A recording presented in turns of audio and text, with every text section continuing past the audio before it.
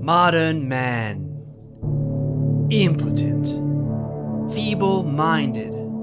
Frightened of his own shadow.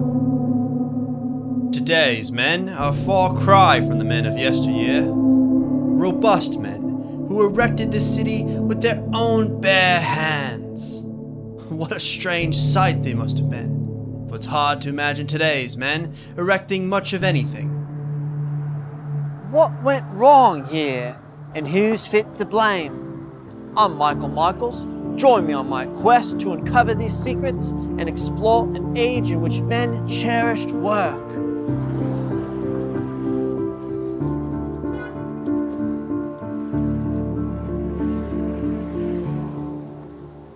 Time stands still here in a great nation whose glory belongs to the past. During an era in which the industrialists saved modern man by bringing them from the darkness of the jungle into the light of the factory. But things are much different now. How did modern man repay the industrialists? With laziness, slothfulness, and deceit, forcing the industrialists to take the factories and move them beyond the shores of this great nation. The past casts a long shadow on the present, and that shadow is only growing darker. This factory employed thousands of men, men who treasured their jobs more than anything. It wasn't easy work, but a job at the Belford ball crushing factory meant a steady paycheck, respectful offspring, and a loyal, obedient wife. Imagine 10,000 men packed into this very corridor, each of them desperate to have their balls crushed. This factory was 600,000 square feet across 10 different buildings, each filled wall to wall with ball crushing machinery. The sheer volume of balls crushed in this space was world historic. The competition for jobs was fierce. Every morning at 4 a.m., the men lined up at this very door. The debriefer, the most coveted position at the time, would remove the men's trousers in order to physically, as well as visually, inspect each man's testicles, ensuring they were of Belford quality. When the starting bell rang, the machines roared to life. Pistons clanged and steam bellowed. The men howled in pain, but never faltered. For that was the prestige of being a Belford boy.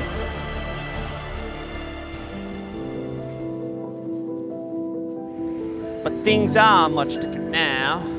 Here at the adjacent rail yard, boxcars full of crushed balls used to make their way to port. But now there's nary a crushed ball in sight. It's not due to lack of demand. They're more popular than ever. It's because today's men refuse to work.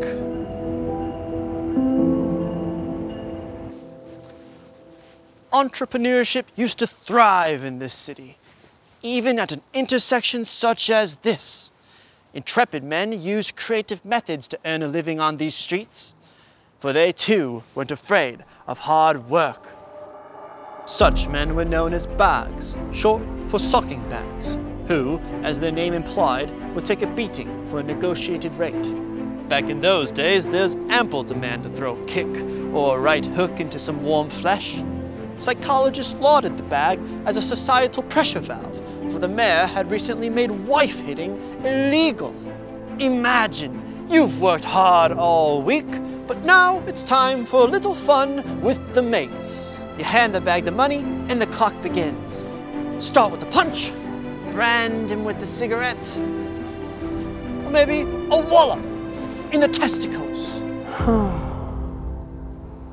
Things are much different now. Such enterprising spirit is a rare sight these days, for today's men would prefer handouts to an honest day's work. Lost is not just commerce, but gone are the foundational experiences of our lives. Nothing celebrated this city's spirit of hard work like the annual winter swimming contest. The mayor would pin a fiver to a buoy several miles offshore, and thousands of men would plunge into the waters to retrieve the money and be the first to return it to this pier. Swimming was a rare talent back in those days, for most who took the plunge never made it back to land. And it wasn't just a competition of brawn and grit, it was imperative to outwit your fellow competitor. Switchblades, small, easy to conceal. These would quickly stop the competition in their tracks. Some men strategically opted to heave rocks from the shore, pummeling the leader with a few hefty stones and snatching their rightful prize. When the winner emerged from the water, the crowd roared with delight. The mayor would then crown him the Winter Swim King, assign him a dutiful queen. But later generations had little interest in this tradition, and the number of participants dwindled until there were none at all. There was even political pressure from the Democratic Party to raise the prize money from $5 to 10 but the Chamber of Commerce rightfully revolted, and the city comptroller proclaimed the idea as fiscally unsound. The past is much different, much different than it is now. Today's men scoff at tradition. Indeed, they are lost, detached from their roots, heedless to the lessons from their ancestors who rest at the bottom of this very lake. Here, Listen closely to the waves. They carry their cries from the deep, begging that these echoes from the past are not forgotten. These lessons from the past, just a slight whisper. And they speak only to those who are willing to listen.